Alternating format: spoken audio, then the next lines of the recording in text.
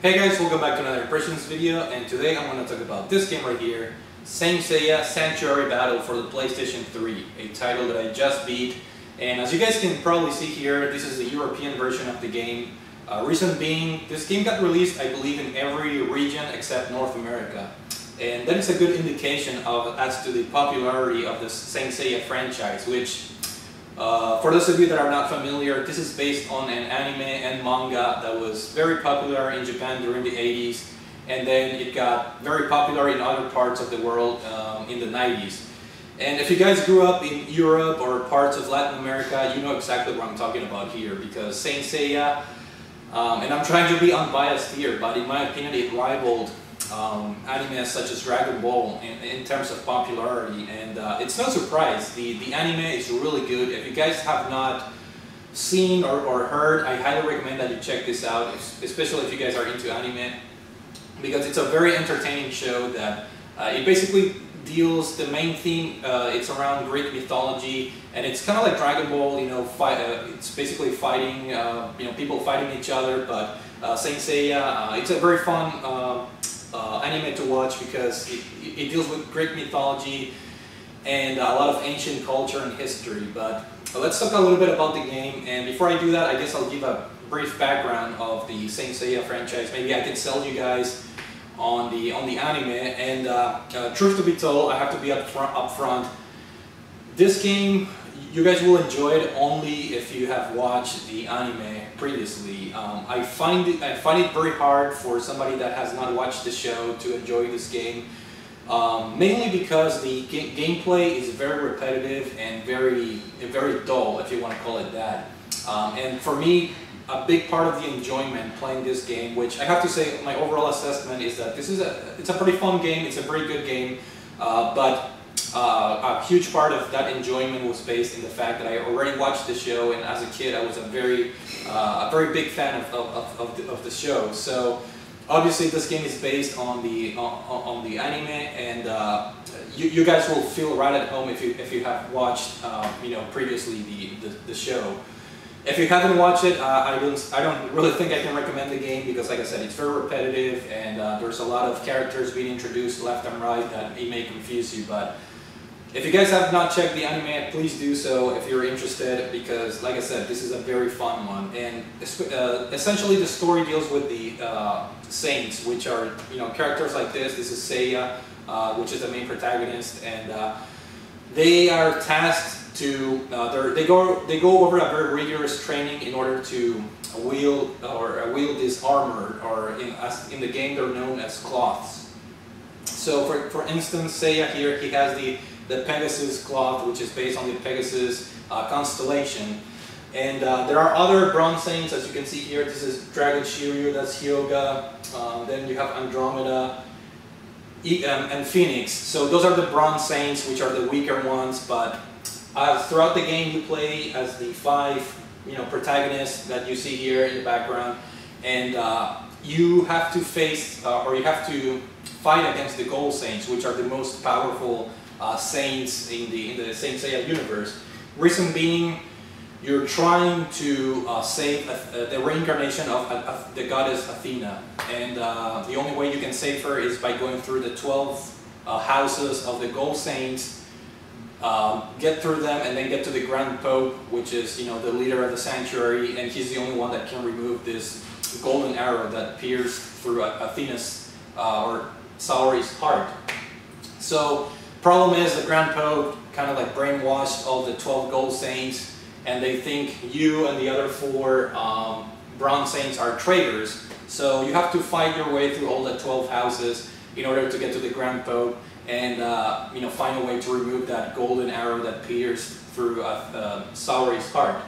Uh, now the problem is that, like I said, the, the gold the gold saints are the strongest ones, and sure enough, the, this game I guess we can talk about the, the gameplay now. It's divided into two gameplay portions. Uh, the first one being a Muso type of beat 'em up in which you, in your way to each uh, temple or house, you have to fight tons of enemies. So think of it as a beat 'em up type of Muso um, game where you know you can just mindlessly uh, smash the square button and uh, you can defeat enemies, but at the same time you can pull off combos by doing different button combinations and things like that. So that's the first part of the gameplay, and once you beat those levels, you finally get to the house of the or, or the houses of the Gold Saints, and then you have to face them and or think of think of them as boss battles. But these are very lengthy boss battles, um, which are kind of kind of in line with the game and with the purpose that you know showing that the Gold Saints are really the strongest ones out there.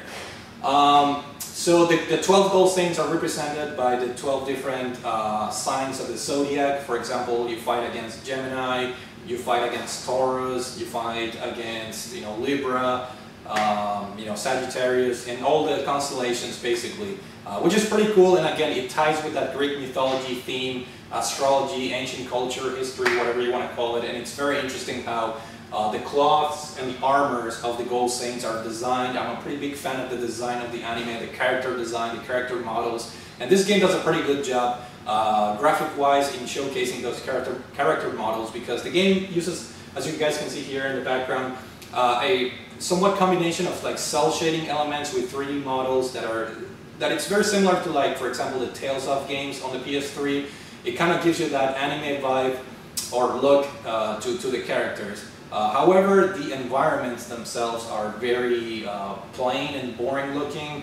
Um, they're very low, low res textures. So um, it, it, they're a little bit of an eyesore. You know, the backgrounds, you know, the ground and the walls in the temples. You know, they they're really like low texture, um, low res textures. So uh, graphically, there's a little bit of a contrast. You know, the character models uh, they look great and they look very anime-like, whereas the the environments are kind of bland and uh, very uh, poor looking, if you want to call it that.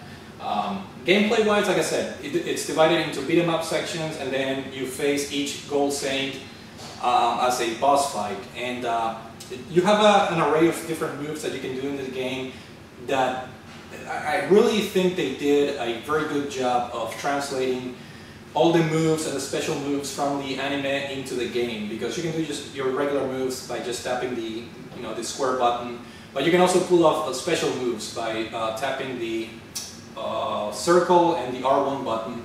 And uh, you know the, the movements are pertaining to each character. For example, Seiya he uses his Pegasus, you know, punches, which is a trademark um, of, of, of, the anime and the, and the cartoon.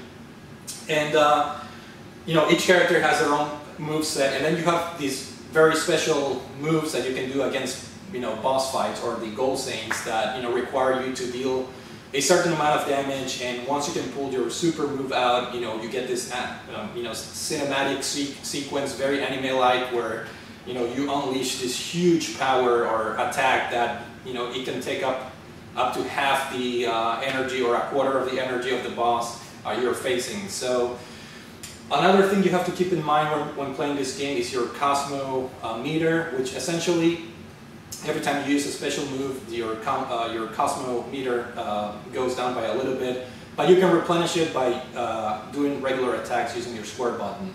Uh, another way you can re replenish your Cosmo meter is by dodging at the right time.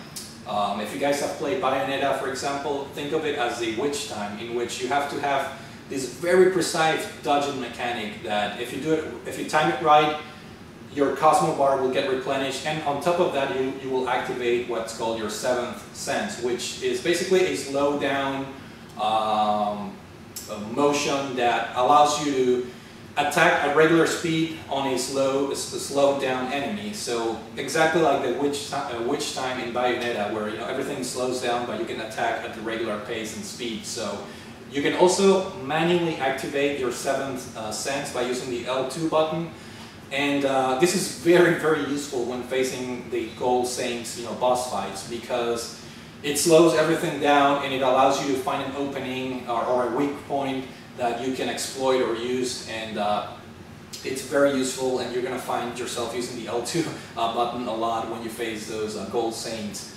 Um, the game overall, I thought, I thought it was pretty challenging. Uh, there are certain Gold Saints that are more challenging than others.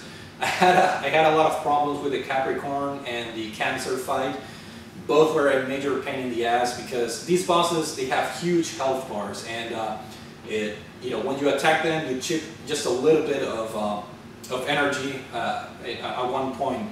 And then uh, certain bosses, once that bar is fully gone, then you would think that you won the battle, but a lot of these boss fights, they have like a second and third form that you have to fight, so it may take you a while just to, you know, get rid of your the first health bar, just to find out that, you know, then after that they transform, or they get more power, or they, they, they up their Cosmo, and um, you have to keep fighting. But everything goes in line with the anime, so if you guys have watched the anime, and especially the Gold Saga, which is, you know, the Gold Saint Saga, which is the favorite, my favorite part of the show, personally, uh, you'll feel right at home. Everything, you know, all the cutscenes that happen in between, you know, the boss fights, they're all, you know, related to the anime, and you guys will feel right at home if you have watched the, the shows previously. Another big advantage, if you guys have watched the show, is that you kind of know the weaknesses or how the Bronze Saints defeated certain Gold Saints. Um, so if, if, you guys are aware of that, you, you will know what kind of special moves or attacks to use um, in order to kill or defeat the, the Gold Saints. So everything is tied to the anime, uh, to the anime obviously, and you know the reason being why I recommend that you guys watch the anime first.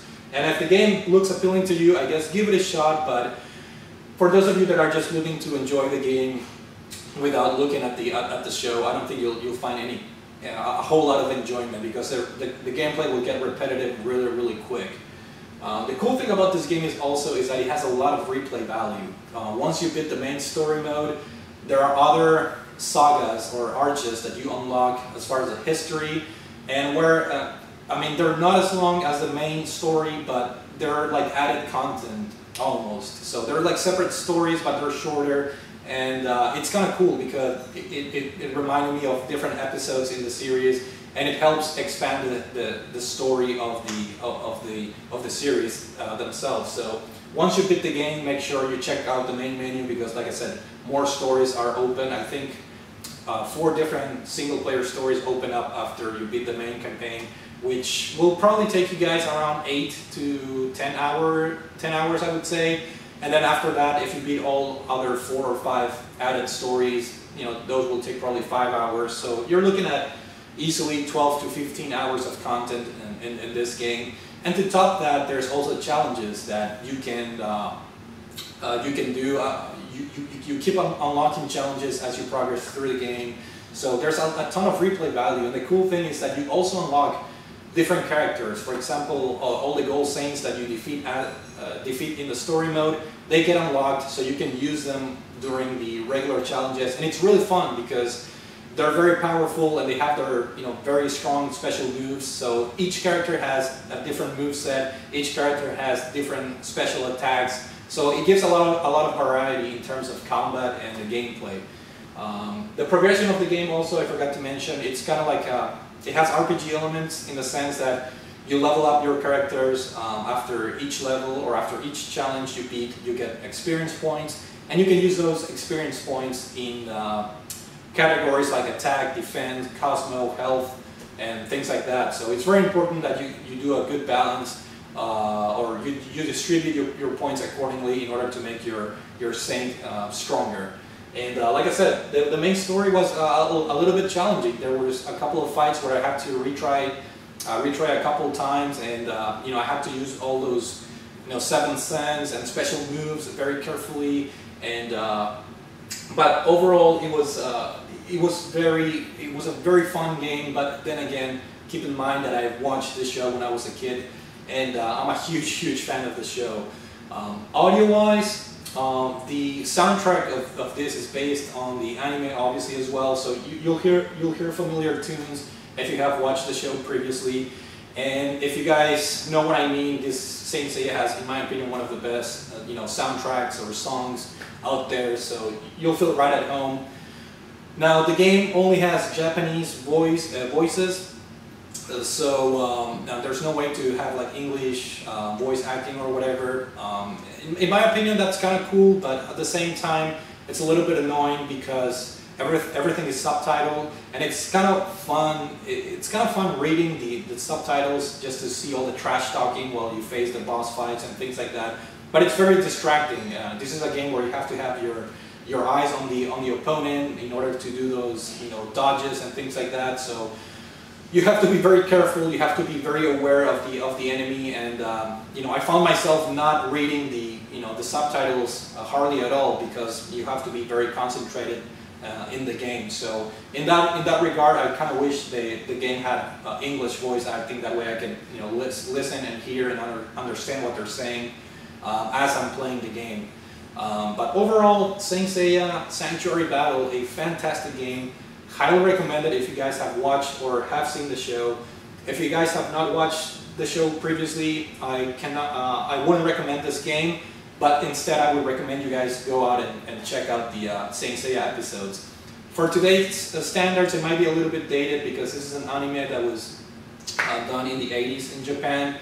So it may not, uh, it may, uh, you know, the animation and all that might be a little bit primitive, if you want to call it that. Uh, but nevertheless, the story and the themes, you know, the Greek mythology, um, themes around it, you know, the, the fact that they, they, they, they wear armors, the different characters that happen during the show.